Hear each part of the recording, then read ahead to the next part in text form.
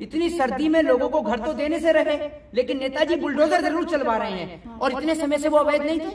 वो जो परिवार जो चार हज़ार परिवार जो हैं वो जो बेघर होंगे सरकार ने क्या प्लान रेडी कर रखा है? इतनी सर्दी में अगर मुख्यमंत्री को घर से बाहर निकाल दू क्या करेंगे मुख्यमंत्री? खड़े हो जाए दस मिनट। मैं बताता रहा हूँ जो बीजेपी के विरोध में बोले सारे जिहादी हैं। तो लेकिन जो सरासर जो बुलडोजर चलाने का काम कर रहे हैं बुलडोजर क्या इस देश के अंदर संविधान से ऊपर हो गया है। And Yogi ji law and order है। हैं हमें डरा रही है आप योगी जी के नाम से हम डरते हैं योगी जी से। This video sponsored by Manialing. Open bed, AC and non-AC lodge, Wi-Fi connection facility, separate locker, 24 into 7 hot and cold water, deluxe stay and much more. Address Supermarket, opposite Chetan School Gulbarga. देखिए मैं आपको बता दूँ ये जो जो bulldozer जो चला रहे हैं बाबा जी और लोगों को जो है बेघर करने का काम कर रहे हैं इतनी सर्दी में लोगों को घर तो देने से रहे लेकिन नेताजी बुलडोजर ज़रूर चलवा रहे हैं नेताजी के नेताजी बुलडोजर इसलिए चलवा रहे हैं क्योंकि जनता को भी तो पता चले लोग बहुत चिल्लाते ना, गरीबों की सरकार है, ये तो गरीबों की सरकार है, पाँच किलो राशन दे रहे हैं, गेहूँ दे रहे हैं। अब आपको पता चलेगी, पहले राशन दिया, अब आपको घर से बेघर करेंगे ना, फिर आपको पता चलेगी और देखेंगे, ये जो चार हज़ार परिवार पर बुलडोजर चल रहा है, सरकार के पास प्रोजेक्ट क्या है? सरकार ने मैं क्या बोल रहा हूँ आपसे मैं क्या बोल रहा हूँ आपसे? अवैध है बिल्कुल ठीक है। लेकिन सरकार के पास प्रोजेक्ट क्या है? दूसरी बात ये कि उन घर के अंदर जो बिजली का कनेक्शन लग रहा है या जो मीटर लग रहा है या जो पानी आ रहा है वो कैसे आ रहा है? और इतने समय से वो अवैध नहीं थे? वो जो परिवार जो चार हज़ार परिवार जो हैं वो जो बेघर होंगे सरकार ने क्या प्लान रेडी कर रखा है। उनको कहाँ रखेगी सरकार? सरकार ने कहा रैन बसेरे रेडी कर रखे? जरा ये बताइए। इतनी सुन लीजिए इतनी सर्दी में अगर मुख्यमंत्री को घर से बाहर निकाल दू क्या करेंगे मुख्यमंत्री? खड़े हो जाए दस मिनट। मुख्यमंत्री को पता चल जाएगी जो घरों पर बुलडोजर चलाना बहुत आसान है लेकिन किसी के घरों को बसाना बेहद मुश्किल है। मुख्यमंत्री जी हो चाहे बीजेपी के नेता हो इनके खुद के घर और परिवार नहीं है या परिवारों की कीमत नहीं समझते हैं। दूसरों के घर पे आप बुलडोजर चला रहे हैं। अगर सोचिए इतनी रात में आपके घर पर बुलडोजर चल जाए आप क्या करेंगे? लेकिन मोहित शर्मा कहीं ना कहीं वहाँ जो सुप्रीम कोर्ट में जो केस चल रहा है उसमें ऐसे डॉक्यूमेंट्स आए जिसमें सौ साल तक के उनके पास पेपर है घर के। मैं आपको बताता रहा हूँ बहुत सारे ऐसे डॉक्यूमेंट्स भी आसाम में निकल कर आए हैं जिनमें सौ साल के उनके पेपर्स हैं कि ये मतलब यहाँ पर रह सकते हैं। एक तौर पर लीज के तौर पर ये वैसे भी आप समझ सकते हैं कि रह सकते हैं। लेकिन उसके बावजूद भी प्री होल्ड जो था। जी जी। हाँ उसके बावजूद भी अब उन घरों के ऊपर बुलडोजर चल रहा है। आप मुझे ये बताइए सरकार इसमें क्यों नहीं बोल रही है? हाँ। ये क्या- क्या मामला बहुत संवेदनशील मामला है। हिंदू मुस्लिम हो रहा है क्या? वहाँ मुस्लिम आबादी अरे भैया मेरी बात सुनिए ना मेरी बात सुनिए। अभी क्या है ना देश की जनता जो है इतनी पागल हो गई है। अभी चार हज़ार परिवार के घर पर बुलडोजर चल रहा है ना इनका सबका ध्यान हटा दिया हिंदू मुस्लिम पे। तुम जाओ पठान का विरोध करते रहो भैया। तुम बायकाट गैंग में अटकाते रहो जनता को बायकाट बायकाट करते रहो। हम इधर चार हज़ार परिवार पे बुलडोजर चला देंगे। इस चीज़ को जहाँ वो ज़्यादातर परिवार वहाँ मुस्लिम समुदाय के हैं। देखिए मैं आपको एक चीज़ बता दूँ हर चीज़ में हिंदू और मुसलमान को ऐड नहीं किया जा सकता है। एक बात आप मुझे बताइए क्या मुसलमान इस भारत देश का नागरिक है या नहीं है?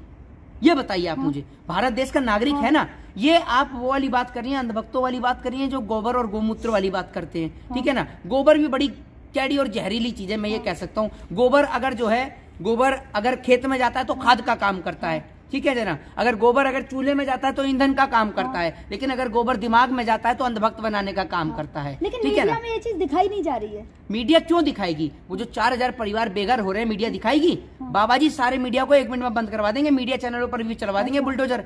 हमें मत डराइए बाबा मोहित जी वहाँ पे सुनिए मैं क्या बोलता हूँ। महिलाएँ बैठी है धरना देके जो हाँ। हमारा घर ना उजाड़ा जाए तो हाँ। उनको बोलते कि जिहादी है। हाँ मैं बताता रहा हूँ जो बीजेपी के विरोध में बोले सारे जिहादी हैं। हाँ। जो बीजेपी के विरोध में बोल रहे हैं सारे जिहादी हैं ये सारे देशभक्त सारे भाजपा में ही भरे हुए हैं। अभी देखा ना बीजेपी के एक नेता ने कैसे लड़की को घसीटा? हाँ। देखा ना आपने? हाँ। बीजेपी के नेता ने कुलदीप सिंह सेंगर ने बेटी के साथ बलात्कार किया। हाँ। वो सारे आपको सारे जो विरोध करते हैं ना बीजेपी का वो सब जिहादी है। ठीक है ना? अच्छा। इस देश में देशभक्त सिर्फ़ बीजेपी वाले बच्चे हुए सारे तो देश विरोधी हैं है है ना? तो सारे जिहादी हैं तो देश में क्यों रख रखा है? एक काम करिए ये जो परमाणु है ना ये परमाणु आपकी चलाने की औकात तो कहीं है नहीं। आप चाइना पाकिस्तान पे चला नहीं सकते हैं गोली भी तो आप वो परमाणु हमारे ऊपर ही दाग दीजिए। मैं आपसे ये कहूँगा हिंदू मुसलमान में मत लड़ाइए। हमें एक बारी में मार दीजिए तो बेहतर है। लेकिन मोदी हल्द्वानी में ऐसा माहौल देखने को आ रहा है जैसे दिल्ली में शाहीन बाग का जो था।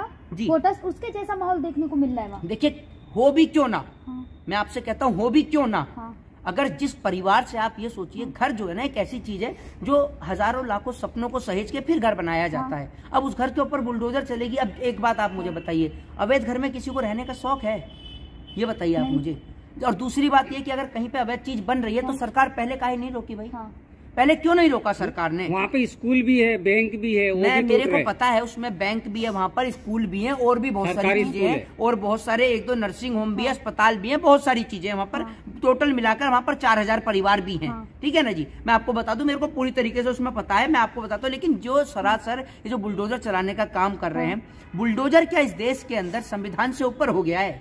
ये बताइए ना लेकिन बुलडोजर तब से ही चल रहा है जब से बीजेपी सरकार आई है। तब मैं आपसे ये कहता हूँ मैं आपसे ये कहता हूँ कि कितने अपराधियों के घर पे बीजेपी वालों के घर पे बुलडोजर चल गया।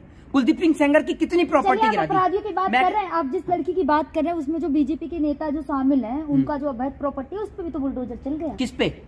आप खबरें नहीं देखते लगता किस पे बताइए ना? आप खबरें नहीं नहीं नहीं आप खबर मेरे मेरे को बता दीजिए। मेरी मेरी मेरी उत्तराखंड। उत्तराखंड में तो अरे होटल पर तो इसलिए चला होटल होटल पर इसलिए चला सबूत मिटाने के लिए। अच्छा। ठीक है? बाकी ये बता रहे सुनिए मेरी बात तो सुन लीजिए कुलदीप सिंह सेंगर हाँ। उसने बलात्कार किया। हाँ। चल गया उनके घर पर बुलडोजर कुलदीप सिंह सेंगर के। हाँ। कितनी प्रॉपर्टी गिरा दी जरा हमें भी बताइए हम भी जानना चाहते हैं। ये बताइए ना आप मुझे।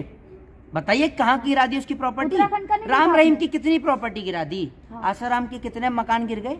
जरा ये तो बता दिया बलात्कारी हैं सारे हाँ। के सारे कितनी प्रॉपर्टी गिरा दी अभी मनोज मित्तल बीजेपी वाला। अरे सुन तो लीजिए काय का लॉ एंड ऑर्डर की बात Yogi ji law and order हैं। बात करते हैं हमें डरा रही हैं आप योगी जी के नाम से। हम डरते हैं योगी जी से। तो मैं भीख मांगी पैंतीस साल। मैं भीख मांग के खाया मैंने स्टेशन पे चाय बेकी। वो दिन में चार बार सूट बदल रहा है। तो देख लीजिए कौन फकीर है कौन गरीब है अमीर है आप समझ नहीं हैं। मैं आपसे एक मिनट एक मैं सवाल आपसे पूछ रहा था की आप मेरे को कह रही थी की मोदी जी बहुत अच्छा काम कर रहे हैं देश में।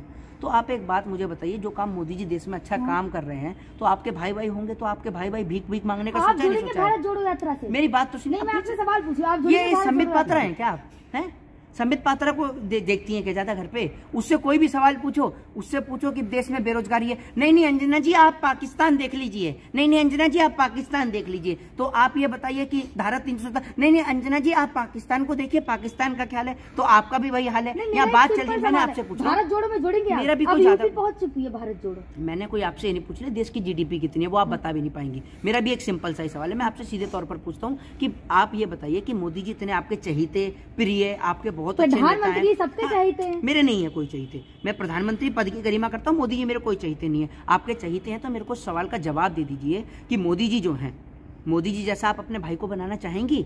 सब क्या? अलग अलग होते कौन चाहेगा बनाना? कोई नहीं चाहेगा। भाई लो अभी तो आप कह रही बहुत अच्छा काम कर रहे हैं आप मना कर रही हैं। तो ये सब चीज़ें जो है दूसरी बात क्या है कि जो परिवार बेघर हुआ है हाँ। उसको लेकर परिवार के प्रति हमारी संवेदना है और मैं परिवार के लोगों से मिलने भी जाऊँगा ये भी हो सकता है। अच्छा आप हल्द्वानी जाएँगे? है हाँ बिल्कुल जाएँगे क्यों नहीं जाएँगे? बड़ा सुनवाई भी है मोहित जी क्या लगता है जी जी बिल्कुल। मैं देश की न्यायपालिका? मैं क्या देश की न्यायपालिका पे पूरा देश भरोसा करता है और मैं कहूँगा की देश की न्यायपालिका को एक ऐसा फैसला सुनाना चाहिए जिससे जो चार हज़ार परिवार है वो ऐसी ठंड के दौरान ऐसी सर्दी के दौरान बेघर ना हो चाहे सर्दी हो चाहे गर्मी हो बेघर ना हो। जय हिंद जय भारत वंदे मातरम।